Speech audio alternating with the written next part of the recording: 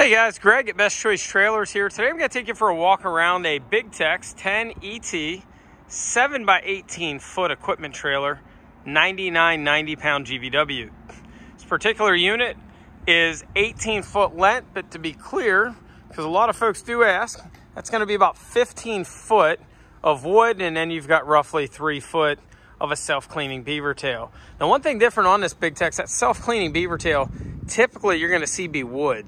It's a little bit nicer. It's going to knock your tread or knock your tread, knock your dirt off your tires on those angled cleats, and just gives a little better traction. You get mud on uh, wood, it's going to slide around. Um, the cleats are just going to make it a little bit more user friendly. So other than the beaver tail with stand-up ramps, uh, this trailer is fairly standard equipment. Uh, standard on this, I believe, is a straight deck, technically, with uh, your sliding ramps. But again, for equipment, you're going to want the, uh, the stand-up shown here. Uh, we also, in Pennsylvania, are required to have two axle brakes. This unit is equipped with brakes on both axles. Show you all the standard features on this particular unit. This has an adjustable six-hole coupler. You got four different hole positions.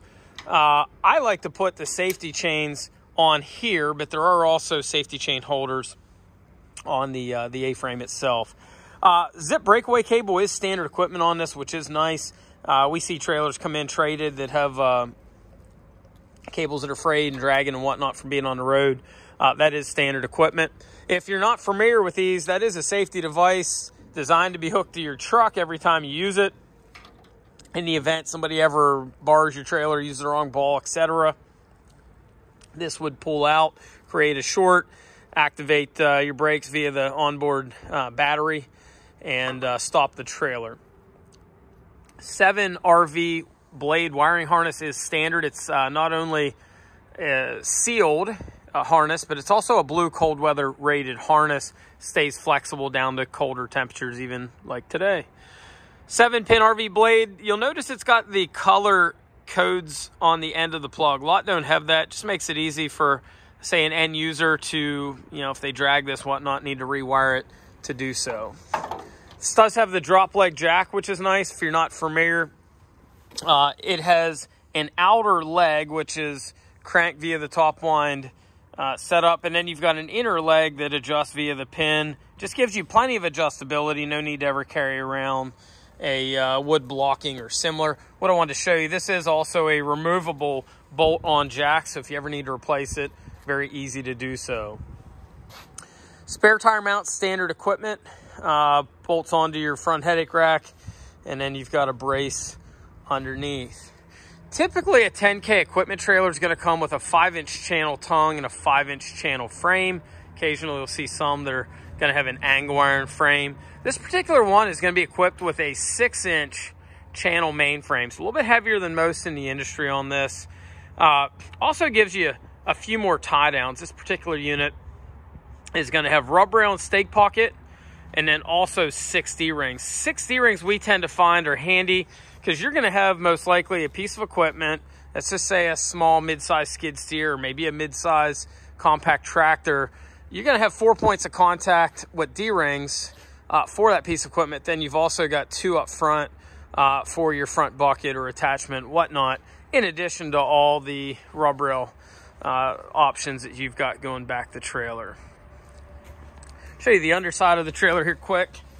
So this particular unit, even though it's a 10,000 GVW, is going to have a 16 inch on center uh, crossmember spacing. I show you that because typically industry standard is going to be 24 inch on center. Those are also three inch channel cross members. Uh, they're structural channel, not formed. You've got a uh, reinforcement gusset in front of the fender. It is a removable fender, which is also nice if you ever need to take the fender off. It's easy to do so. Uh, some folks say, why would I want a removable fender? Well, the answer is if you ever damage it, it's going to make it easier. Uh, also, if you ever want to fork something on from the side, you can do so by taking the fender off. Uh, you have roughly three, four, five inch fender reveal when you take it off. So if you want to load a skid on from the side, you can do so.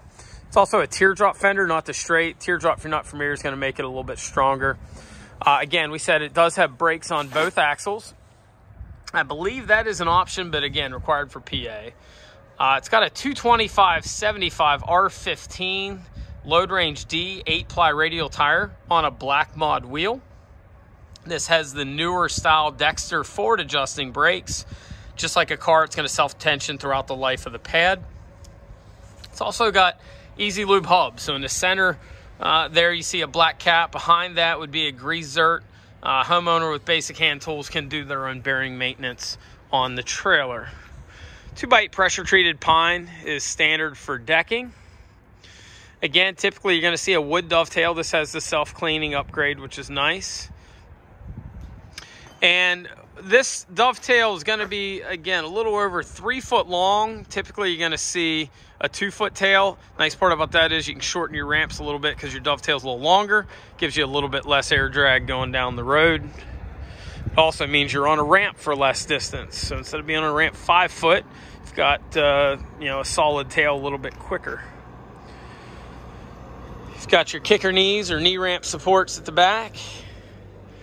LED lights. Unit like this, I don't think I mentioned, is going to weigh in about 2,500 pounds. It's going to give you a net legal um, payload on the trailer side of about 7,500 pounds. That doesn't count your tongue weight. Tongue weight to the jack, or uh, well, jack and your coupler, going to be about another 15%. Uh, so occasionally you need to get north of that 7,500 pound mark. Uh, you will be legal whenever you cross your scales because that, again, additional weight is going to show up on the truck side. Um, so again, this is a 10,000 7 by 18 available in different lengths, 16, 20, etc. Uh, we also carried in the 14,000 and 16,000 GVW. And this is shown with the stand-up knee ramps. We also have the full width mega ramp option as well. If you have any questions on this or any of our other trailers, feel free to give us a ring at 724 864 1449, or you can visit us on the web at bestchoicetrailers.com. Thanks for looking.